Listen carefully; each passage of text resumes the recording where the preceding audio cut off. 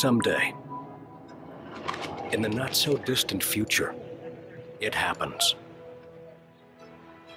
The moment you realize you're ready for anything.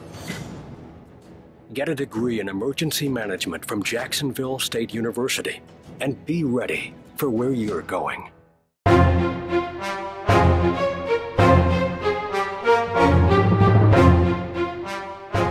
This is your Weather Xtreme video for Sunday, April the 6th. I'm meteorologist Brian Peters. Thanks for tuning in. It looks like we're in for an active weather pattern. The uh, sky cams this morning indicating that we do have a good deal of rain over the area. But let's start out at Decatur, where there was at least enough breaks for a nice sunrise shot. We get down to Inverness, and the roads are wet there, where the rainfall has been relatively light.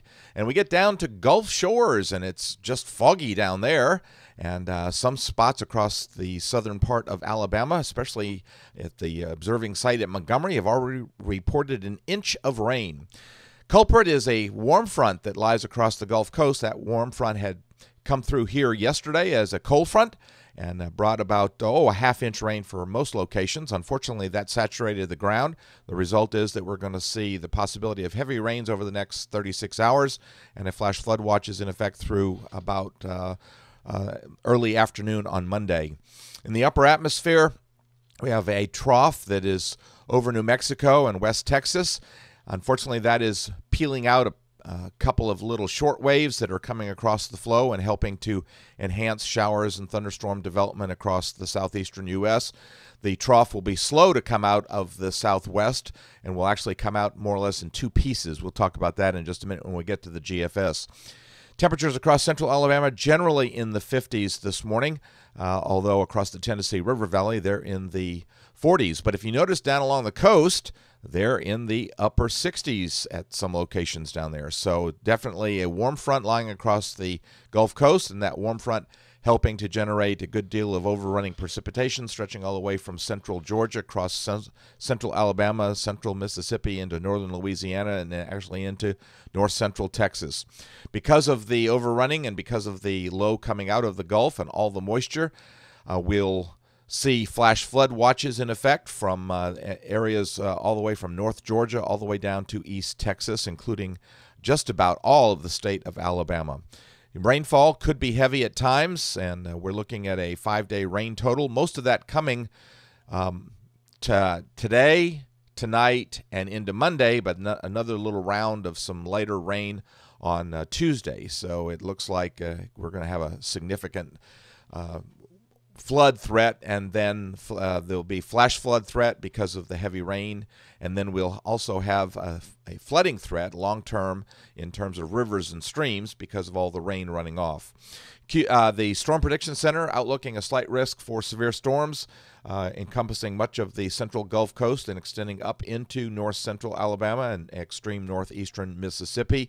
Day two, that slight risk area moves over into uh, primarily central and southeast Georgia and uh, north Florida and the eastern portion of the Carolinas. All right, let's get to the 06Z GFS model run this morning.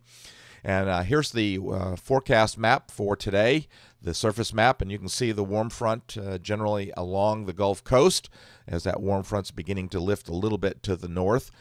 We see the trough over West Texas primarily, but you'll see little little pieces of it coming across the southeastern U.S. Little short waves that are helping to enhance some of this rain. So it's not like it's going to rain the entire day. We'll probably see an end to the rain for a while, but then the rain will pick up again by Monday at 1 a.m. So this is tonight.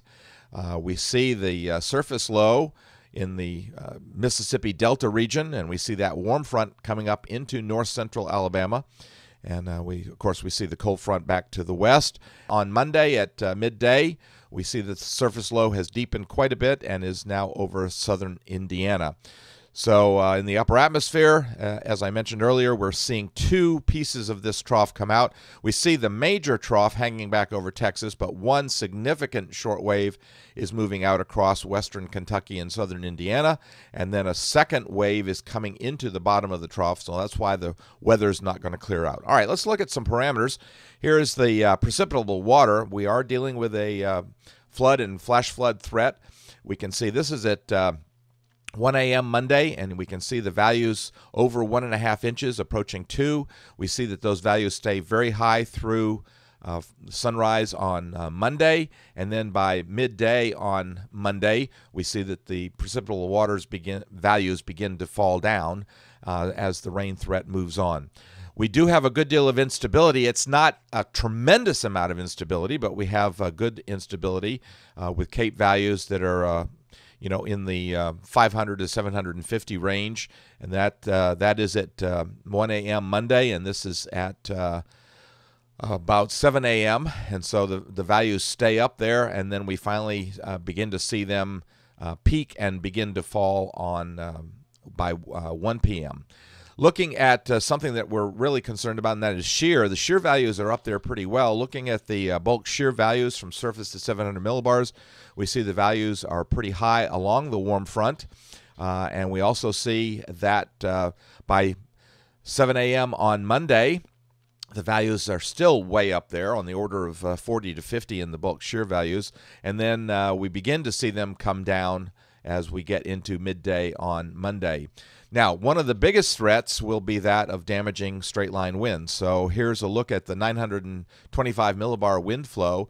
And here's the thing we've got uh, this is uh, 1 a.m. on Monday, and we have that purple area, which indicates uh, wind speeds of 45 to 50 knots. So that means that we're on the verge of severe weather criteria right there. So if anything is be, uh, is able to bring that wind down to the ground, we're going to have damaging wind, and that's probably one of the biggest threats.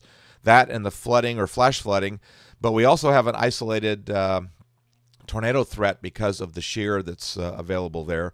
We see that by the first thing uh, Monday morning by 7 a.m., that we've uh, peaked over 50 knots in the 50 to 55 range, and then we see that uh, values begin to come down by midday. So the severe weather threat is very real. I would expect to see at least severe thunderstorm watches and perhaps tornado watches. The overall trough finally begins to come by um, Tuesday. And uh, as you might expect, that's going to usher, usher, in some colder air. We see that uh, on Tuesday, the pattern very chilly with the 540 line coming down into southern Arkansas and northern uh, Louisiana. But we also see the uh, rain area. So the clouds are going to stick around and we're going to see rain and showers. No thunderstorms, but I think at least rain and showers. The trough finally edges off the southeast U.S. coast on Wednesday, so that should be a very improving day. But Wednesday and Thursday morning are going to be somewhat chilly, and there's a possibility we might even see some patchy frost on Wednesday and Thursday morning as temperatures dip down into the upper 30s primarily, but even with that, we could see some patchy frost. The pattern flattens somewhat as we see a ridge more or less build in that is keeping the traveling weather systems to our no- north on Thursday. Uh, we see that same pattern on Friday, but now we're beginning to see the next system come in Southern California. So it looks like while we have uh, one front approaching from the north, it's not likely to get here because of the ridge to the south and, and the more or less zonal flow pattern. By Saturday, uh, we see the ridge pump up in response to the trough coming in from Southern California. And so that should uh, open up the moisture as the Gulf opens up across the lower Mississippi River Valley in the East Texas area. Um, and then by Sunday, we see the the trough doing sort of what this trough is doing, and that is we see a combination of uh, a little short wave that's over the in the vicinity of the Arklatex, but we see another substantial short wave back over the northern Rockies. So this is not going to be one of those that comes by quickly. The Gulf opened up very has opened up very nicely. So we have a good deal of moisture streaming up into the central parts of the United States.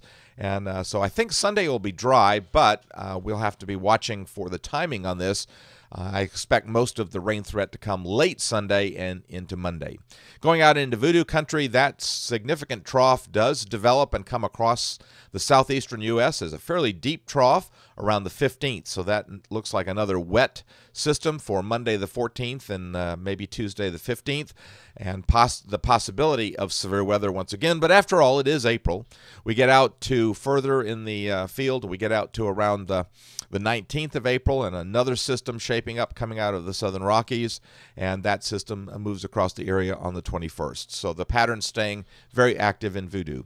Well, thanks for tuning into the Weather Xtreme video. I expect uh, James Spann to be back with the next edition first thing on Monday morning. In the meantime, stay tuned to the blog for weather updates on the overall developing weather situation. I'm meteorologist Brian Peters. Have a great day, stay dry, and Godspeed. Thank you for trusting us to be your number one source for news in all of central Alabama. In back to back ratings periods, more people watched ABC 3340 than any other station in Birmingham.